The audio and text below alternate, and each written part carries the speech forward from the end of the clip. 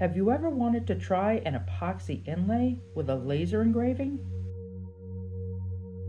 Or wanted to experiment with different colors?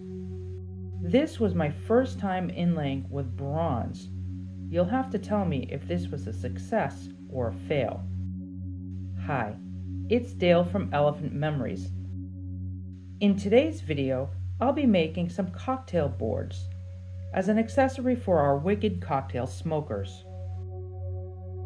I'll be experimenting with a bronze pigment and will also show you a very quick and easy way to fix a stray resin bubble that could otherwise wreck a perfectly good inlay. So let's jump in. I've cut a piece of live edge walnut on the bandsaw and did multiple passes on the laser so the design is about a 16th to an 8th inch deep. I sealed the grains around the design with two coats of shellac, then let dry overnight. Here, I have about 35 grams of epoxy for each board and will mix with my pigments. Now just pour the epoxy on the engraving. This board had a crack which had been partially filled with epoxy before being tossed aside. The crack still had voids, so I just added a little more to fill it in. A blast of the torch to pop the surface bubbles. I like to use a fine tipped silicone brush to push into the engraving. This helps release trapped bubbles.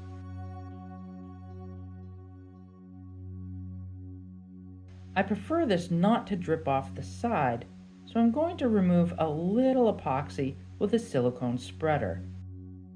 Let this sit for 48 hours.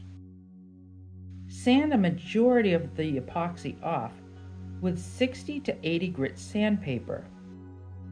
Try not to touch the wood as it could leave an uneven surface. You could put this through a planer, but it could really dull the blades fast and will leave a lot of epoxy dust. I find it easier just to sand.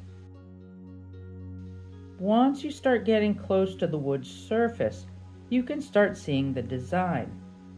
At this point, I'll switch to 180 grit paper. Use this grit until all the extra epoxy is removed and you're left with a fairly clean inlay.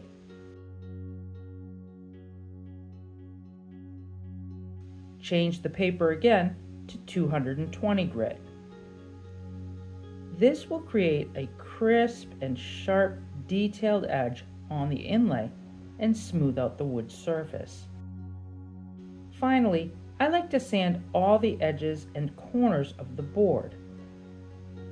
Since we have a live edge, it's okay that the edges aren't perfect. I like to see some of the saw marks and wormholes too. It definitely adds character. Okay, now use an air compressor to remove all the dust from the grains and the epoxy surface. This will show you any hidden cracks or bubbles. So I did find a few holes in the epoxy at the crack. I'll leave a link in the description below to a full tutorial on how to fix bubbles. But since we only have a small area, I'm going to do a quick but full fix on this, and this only takes a few minutes. UV resin doesn't need a hardener to cure. Instead, you just need a strong UV light. I'm just adding a dab. Use a toothpick to make sure it gets deep into the hole.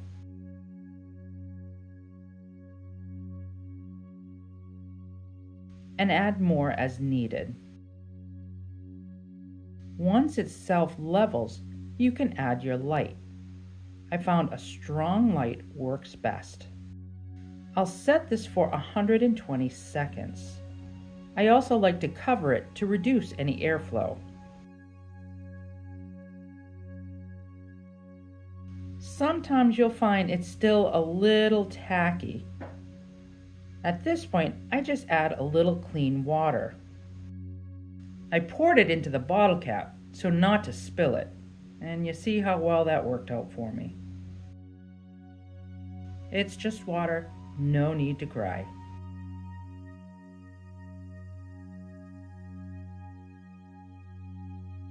Let's try that again. This time, just a drop of water will do. Add the light for 120 seconds and cover.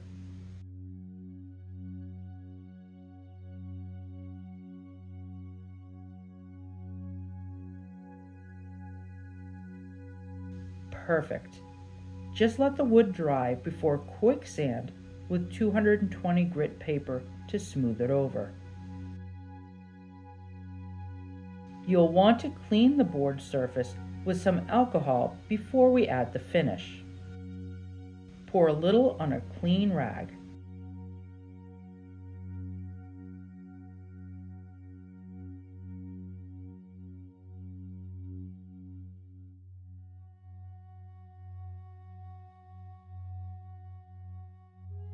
Apparently, I'm just going to be spilling over everything today. Good thing alcohol dries really fast. We are now in the home stretch. I use a two-part finishing system on these. I start with an all-natural hydrating wood serum. This is very fluid and will really penetrate down deep into the wood. Over time, your wood will get too dry and eventually crack, like the one on the right. By rehydrating the wood, it helps prevent cracks and preserve it.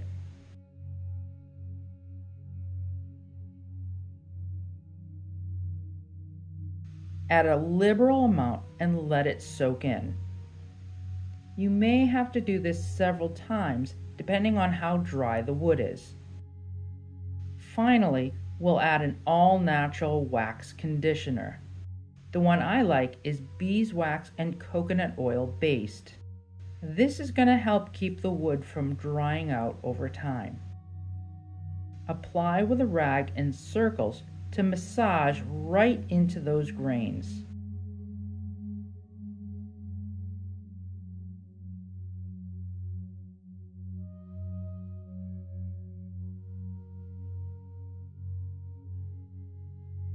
Then use a clean, dry rag to buff the board.